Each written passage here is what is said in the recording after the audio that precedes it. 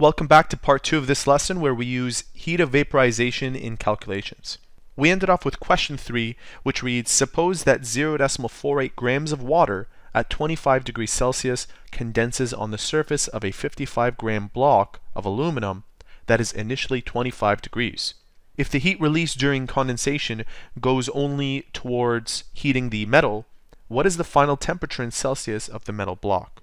So you can picture that there's water being placed on a block of metal and that water is losing its heat. The first thing that we want to do is calculate how much energy is being lost by this water. And we can do that by using one of the numbers that we used in question number one, namely the heat of vaporization of water. And we found out that it was 40.7 kilojoules per every one mole of water at 100 degrees. So I'm going to rewrite that 40.7 kilojoules per 1 mole of H2O. We're told that the mass of water is 0.48 grams, and using this mass and the molar mass of water, we can actually find out the amount of moles. Once we find the amount of moles, we can multiply it to this number and we'll get the energy in kJ. Here's what I mean. So 0.48 grams will be multiplied to the molar mass of water, which we found out in part 1 was 18.02 grams per mole. So I'll put down 1 mole at the top and 18.02 grams at the bottom. Notice that the grams unit will cancel out and we're left with, let's use our calculator, 0.48 divided by 18.02. And you have to keep in mind significant figures. It should have only two significant figures. So I'll write down 0.02663. I'll keep those digits for now. Don't want to lose anything important. 2663.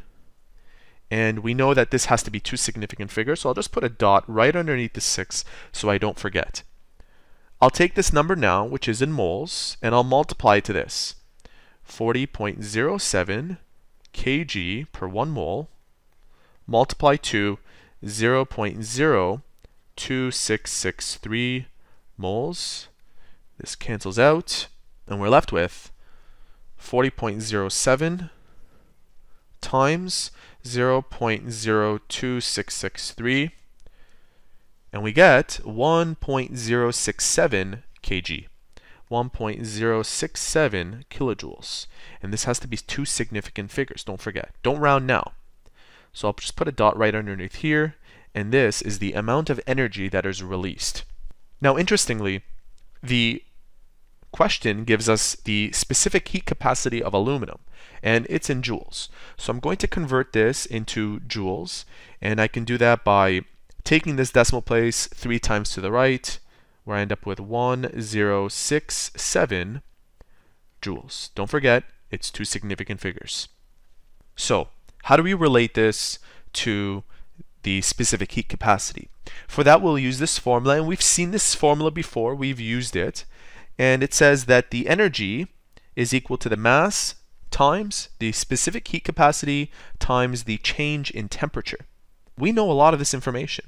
We know that the aluminum is 55 grams, that will go here, two significant figures. We know the specific heat capacity will go into there, and the energy lost by water, according to this question, goes directly into the metal. So the energy gained by aluminum is 1067 joules. Let's go ahead and replace all of that information. We're almost done. So we have 1067 is equal to 55 grams. And notice that they match. So we don't have to change grams into anything. 0.903. And I'll put the units just to show you that they all cancel out. Joules, grams, and Celsius at the bottom. And this one was joules. And this is being multiplied to delta T. Now we don't know the final temperature, but we do know the initial. And delta T represents final minus initial. T final minus the initial of 25 degrees. We're now solving an algebraic problem. Notice that we have a factor on the outside and uh, two terms on the inside of these parentheses, so we'll need to multiply this in, it's called expanding, and we need to solve for t sub f. Let's use our calculator to make things a little easy for us. 55 times 0.903. Remember, this should be two significant figures, but I'll write down everything. 49.665. 49.665. This should be two significant figures so far. And it's being multiplied to these two terms. So t sub f. And I'll multiply this factor by negative 25, which gives us negative 1241.625. Negative 1241.625. And this also should be two significant figures. We need to solve for this variable. 1067.